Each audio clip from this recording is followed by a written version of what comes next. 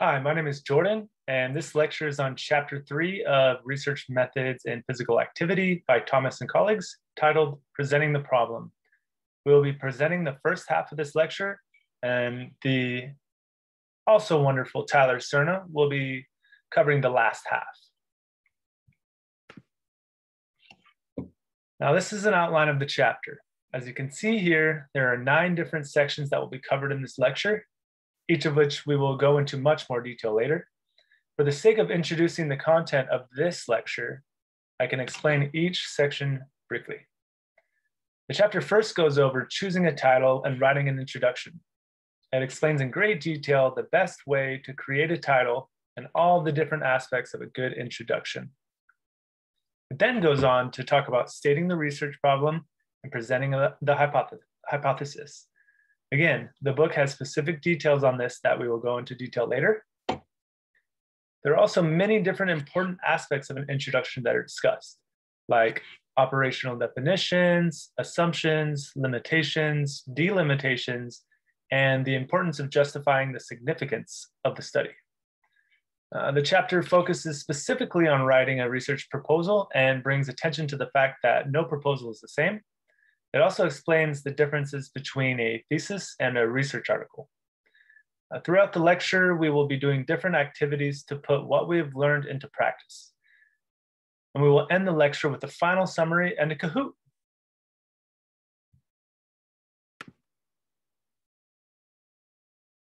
The learning objectives for this chapter include the ones on Canvas that were created by Dr. Jock, as well as a couple different ones that Tyler and I have come up with based on the content of this specific chapter. Uh, the first two objectives created by doc, doc, Dr. Jock are to become well-versed in an area of research and to be better prepared to propose a, or and conduct a thesis. And Tyler and I have come up with subsections of these objectives that we believe will help achieve those first two objectives. Now, these are to accurately identify all of the different types of variables that are discussed in the chapter identify what words might need to be operationally defined within your research, successfully identify some assumptions, delimitations, and limitations uh, in your own research, and to understand why justifying the significance of a study is important. Now it's time to go into the first section of the chapter, choosing the title.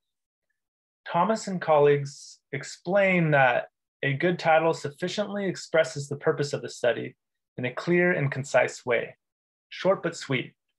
Now, good titles should not be too long or too short, but should still be able to tell the reader exactly what the study is about.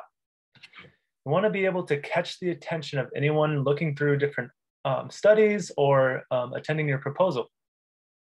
It's important for the writer to be aware of their audience so they know how to approach creating the title.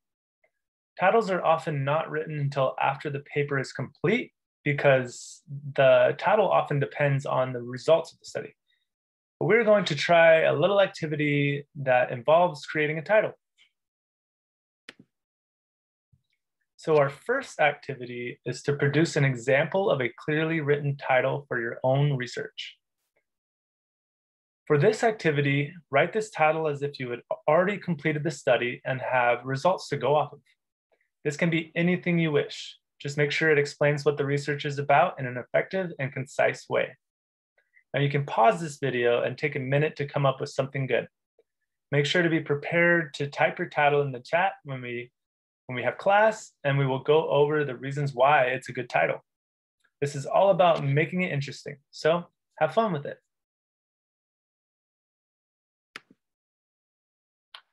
After you've completed activity one, it's time to discuss the next section of the chapter, writing the introduction. The introduction is very important that it needs to explain the study thoroughly enough to get the main focus across, but also captivate the reader. It needs to be concise, but it also needs to strike a spark. So let's take a look. This is how the book explains how to write a good introduction. First, the introduction needs to help the reader understand the problem so that they can gain interest in the solution. As a writer, you want to assume the reader is knowledgeable about the topic, but also make sure to explain specific aspects that you might you may maybe be well more well versed in um, from conducting the research review. You also want to give a thorough background on the research topic so that the reader understands the why of your research. It is also important to explain the research that has been done on the topic and identify a gap in literature. If your research is something that has not yet been looked into, all the more interesting for the reader and all the more significant for your community.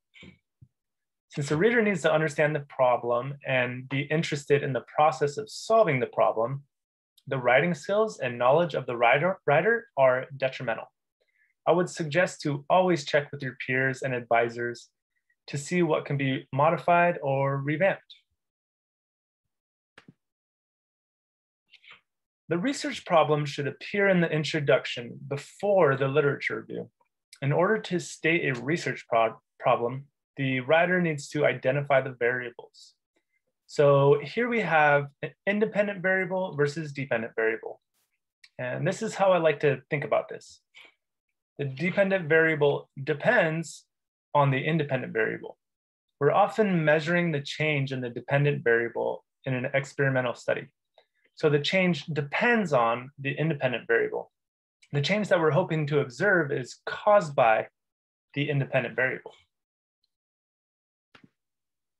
Now here we have a couple of different types of variables often found in research studies.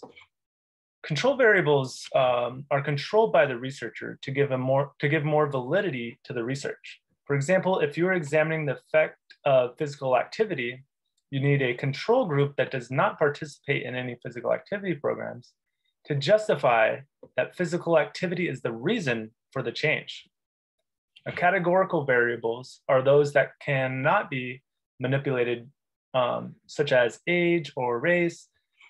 They just group subjects or participants into different groups based on something that's not necessarily related to the research topic. An extraneous variable is one that affects the relationship between the independent and dependent variables. So if you're conducting a research study in a specific environment, and there just so happens to be construction in that environment for two weeks of the study, having a change, having to change locations might be an extraneous variable.